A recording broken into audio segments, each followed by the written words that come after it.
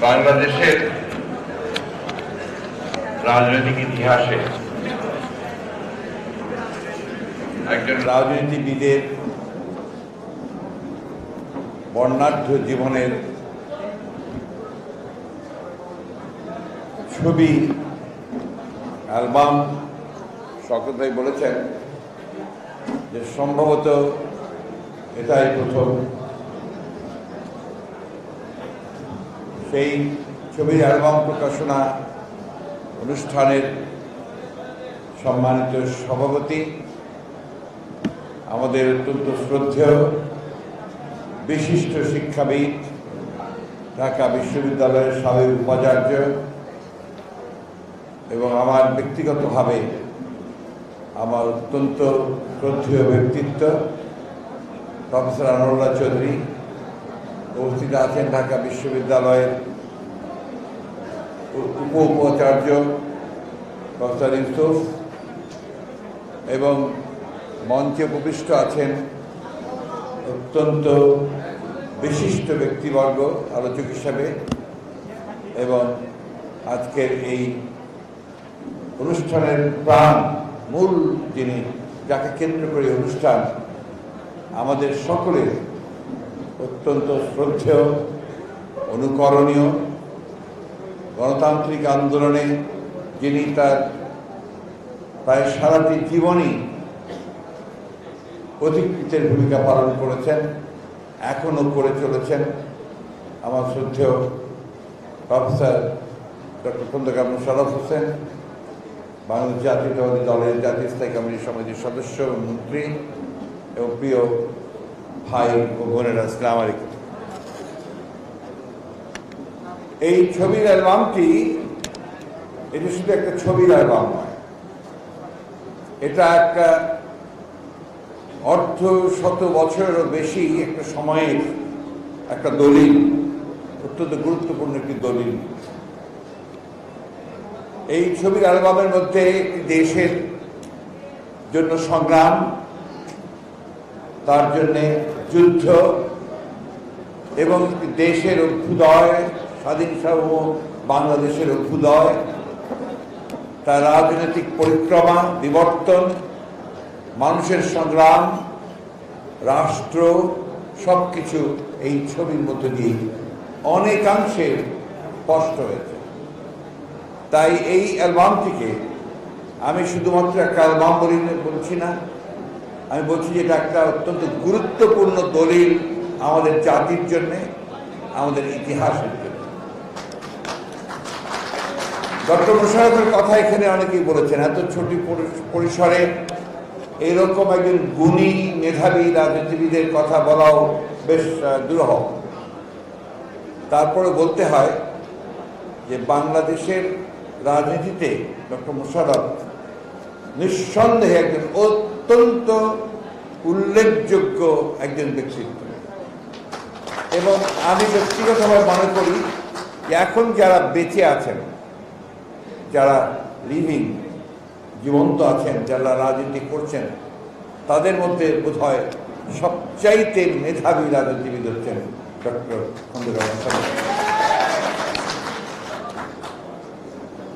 তার সংগ্রামের ইতিহাস ছাত্র জীবন থেকে। তিনি পাকিস্তান বিরুদ্ধে এই আয়ুব খান, এই খানের স্বৈরাচারের বিরুদ্ধে সংগ্রাম করেছেন। রাজনীতিতে জড়িয়েছেন, ছাত্র রাজনীতিকে সমৃদ্ধ করেছেন এবং একজন অত্যন্ত মেধাবী ছাত্র হিসেবে ঢাকা বিশ্ববিদ্যালয়ের শিক্ষক হয়েছেন এবং পরবর্তীকালে আরও উচ্চতর শিক্ষা নিয়েছেন, ডক্টরেট করেছেন অত্যন্ত নাম করা ইউনিভার্সিটি থেকে। আমাদের ডক্টর ইউসুফ বলেছেন যে তিনি যে বিষয়টির উপরে গবেষণা করেছিলেন সেটা এখন সমগ্র বিশ্বে সেই বিষয়টি আপনার এটাকে অনুসরণ করা হচ্ছে। ডক্টর মোশারফের আমি আগে বলেছি এত স্বল্প পরিসরে এটা বলা সম্ভব নয়।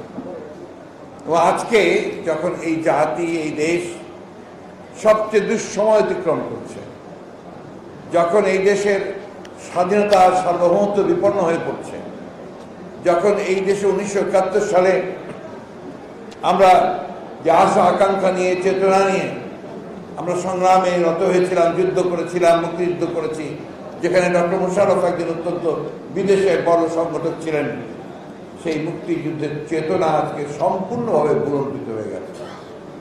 উনিশশো একাত্তর সালে আমরা একটা স্বাধীন, গণতান্ত্রিক, সমৃদ্ধ বাংলাদেশের স্বপ্ন দেখেছিলাম। সেভাবে আমরা যুদ্ধ করেছি। আজকে এই অসময় আমরা কি দেখছি? সেই গণতন্ত্রকে পুরোপুরি নির্বাসিত করা হয়েছে। এই আওয়ামী লীগ যারা মুখে গণতন্ত্রের কথা বলে, কিন্তু কাজে সবসময় গণতন্ত্রকে ধ্বংস করার কাজ করে, সেই আওয়ামী লীগ যতবার তারা রাষ্ট্র পরিচালনার দায়িত্বে এসেছে, অথবা জোর করে দখল করেছে, ততবারই তারা গণতন্ত্রের সমস্ত স্তম্ভগুলোকে, প্রতিষ্ঠানগুলোকে ধ্বংস করে দিয়েছে। আমি দীর্ঘ আলোচনায় যাব না। আমি শুধু এইটুকু বলতে চাই যে আজকে এই সরকার আমাদের সমস্ত যে শুভ অর্জনগুলো ছিল, আমাদের যে জনগণের জন্য যেগুলো আমরা অর্জন করেছিলাম, যুদ্ধ করে, লড়াই করে, সংগ্রাম করে, আমাদের স্বাধীনতা, আমাদের গণতন্ত্র, আমাদের মৌলিক অধিকার, মানব অধিকার আজকে সব কিছুকে তারা ধ্বংস করে আজকে পত্রিকা খুললেই দেখবেন যে একজন দুর্নীতি দমন কমিশনের একজন কর্মকর্তা তাকে অপসারণ করা হয়েছে। এবং কেন অপসারণ করা হয়েছে? যে তিনি যে ব্যক্তিগুলোকে চিহ্নিত করেছিলেন যে এরা দুর্নীতি করছে ব্যাপকভাবে, বিশেষ করে কক্সবাজারের জমি অধিগ্রহণ ক্ষেত্রে, সেই মানুষগুলি তার বিরুদ্ধে অভিযোগ করেছে যে তিনি নাকি দুর্নীতি করেন। কোন রকমের সুষ্ঠু তদন্ত ছাড়াই তাকে অপসারণ করা হয়েছে। এই দেশে এখন দুর্নীতি একটা ভয়াবহভাবে ছড়িয়ে পড়েছে এবং সেটা সম্পূর্ণভাবে নেতৃত্ব দিচ্ছে সরকার। আপনারা দেখেছেন, কয়েকদিন আগে এটা পত্রিকাতেই এসেছে যে দুজন মন- বা একজন মন্ত্রী আর একজন উপদেষ্টার কথোপকথন। সেই কথোপকথনের মধ্যেও সেই দুর্নীতির কথা বেরিয়ে এসেছে। শুধু তাই নয়, আরও ভয়াবহ হচ্ছে যে সেই দুর্নীতি শুধু নয়, এর মধ্যে বিচার বিভাগে বিচারকদের নামও চলে এসেছে। এবং এর সঙ্গে সম্পৃক্ত যে নাম উঠে এসেছে, সেটি হচ্ছে আমাদের প্রধানমন্ত্রীর পুত্র এবং বাংলাদেশ সরকারের আইটি বিষয়ক উপদেষ্টার নাম। আমরা জানি না ঘটনাগুলো কি। আমরা এটুকু জানি যে সেই কথোপকথনের যে জিনিসগুলো এসেছে, তাতে দুর্নীতির একটা সুস্পষ্ট আভাস, দুর্নীতি হচ্ছে বা চলছে, এটা বোঝা যায়। এবং সেটা সরকারের উচ্চ মহল থেকেই সেটাকে নিয়ন্ত্রণ করা হচ্ছে। কয়েকদিন আগে দেখেছেন যে শিক্ষামন্ত্রী দীপুমণি তার এলাকায় চাঁদপুরে যে বিশ্ববিদ্যালয় হবে, সেই বিশ্ববিদ্যালয়ের জমি অধিগ্রহণের জন্য সেখানে পত্র পত্রিকায় উঠে এসছে যে সেখানে জেলা প্রশাসক সেই ভূমি অধিগ্রহণ নিয়ে অভিযোগ করেছেন যে এখানে ব্যাপক দুর্নীতি হয়েছে। আজকে আবার পত্রিকায় দেখলাম যে ঢাকা এয়ারপোর্ট থেকে টুঙ্গির যে রাস্তা, এই রাস্তার প্রতি কিলোমিটারে খরচ দেখানো হয়েছে দুইশো তেরো কোটি টাকা। যা পৃথিবীর কোথাও নেই। আজকে পত্রিকাতেই আছে সেটা। এই যে আপনার, আমি কত ছোট ছোট উদাহরণ আপনাদের বলছি। প্রতিটি ক্ষেত্রে ব্যাপক দুর্নীতি। এবং এটা ছড়িয়ে পড়েছে একটা ক্যান্সারের ব্যাধির মতো। এখন বিশ্ববিদ্যালয়গুলোতে দুর্নীতি করছেন উপাচার্যরা। এখন স্বাস্থ্য মন্ত্রণালয়ে যারা কাজ করছেন, তারা দুর্নীতি করছেন। বিশ্ববিদ্যালয়গুলোতে চিকিৎসা, আপনার মেডিকেল কলেজগুলোতে দুর্নীতি করা হচ্ছে। স্বাস্থ্য মন্ত্রণালয়ের শিক্ষাতে এমন একটা জায়গা নাই যেখানে দুর্নীতি করা হচ্ছে। আজকে দুর্ভাগ্য আমাদের যে ডক্টর মোশারফ যারা স্বাধীনতার যুদ্ধে সংগঠন করেছে, লড়াই করেছিলেন, এখানে অনেকেই আছে যারা লড়াই করেছেন যুদ্ধ করেছেন, তারা এই দেশের জন্য সংগ্রাম করেননি যুদ্ধ করেননি ভাই। তার সত্যিকার অর্থেই একটি সার্বভৌম, একটি গণতান্ত্রিক বাংলাদেশের জন্য যেখানে জবাবদিহিতে থাকবে। আজকে দেখুন যে বাংলাদেশের মানুষ তাদের অধিকারের জন্য লড়াই করেছিল, সংগ্রাম করেছিল। সেই বাংলাদেশের মানুষকে আজকে তাদের ন্যূনতম যে অধিকার, ভোট দেওয়ার অধিকার, সেখান থেকে বঞ্চিত করা হয়েছে। ইসি তৈরি করা হচ্ছে, ইলেকশন কমিশন। আমরা পূর্বেই বলেছি যে এই নির্বাচন কমিশন দিয়ে কোনো কাজ হবে না। যদি না, নির্বাচনকালীন সময়ের সরকার পরিবর্তন না হয়। এবং সেটা নির্দলীয় না থাকে। আজকে শুধুমাত্র এই নির্বাচন কমিশন গঠন করে, তার জন্য আপনার সার্চ কমিটি গঠন করে, জনগণের সঙ্গে প্রতারণা করে পুরোপুরি জনগণকে বোকা বানিয়ে আবারও সেই দু হাজার চোদ্দ, দু হাজার আঠারোর মতো একটা নির্বাচন কমিশন বানিয়ে তাদের সেই ক্ষমতাকে তারা পাকাপোক্ত করতে চায় একদলীয় শাসন ব্যবস্থা করতে চায়। ডক্টর মুশারফ কখনো আপোষ করেননি। তিনি গণতন্ত্রের পক্ষে সারা জীবন সংগ্রাম করেছেন, লড়াই করেছেন।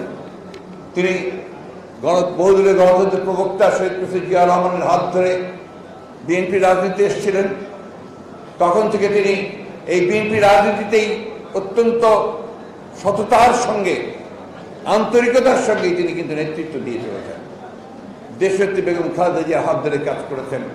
এখন যখন গণতন্ত্রের সংগ্রাম আমরা করছি এটাকে পুনরুদ্ধারের জন্য তখন আমাদের নেতা যিনি আজকে নির্বাসিত অবস্থায় আছেন, ভারপ্রাপ্ত চেয়ারম্যান যেন তারেক রহমানকে পুরোপুরি সহযোগিতা দিয়ে চলেছেন এবং এখানে গণতন্ত্র পুনরুদ্ধারের জন্য লড়াই করছেন। প্রিয় বন্ধুগণ, বক্তব্য দীর্ঘ করব না। ডক্টর মুশারফ সবসময় সব কালের শক্তিকে জন্মায় না। এরা ক্ষণজন্ম মানুষ। যারা তাদের সারাটা জীবন তারা কাজের জন্য,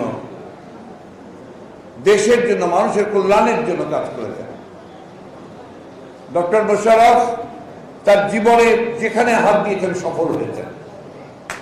তিনি ছাত্র জীবনে অত্যন্ত মেধাবী ছাত্র ছিলেন।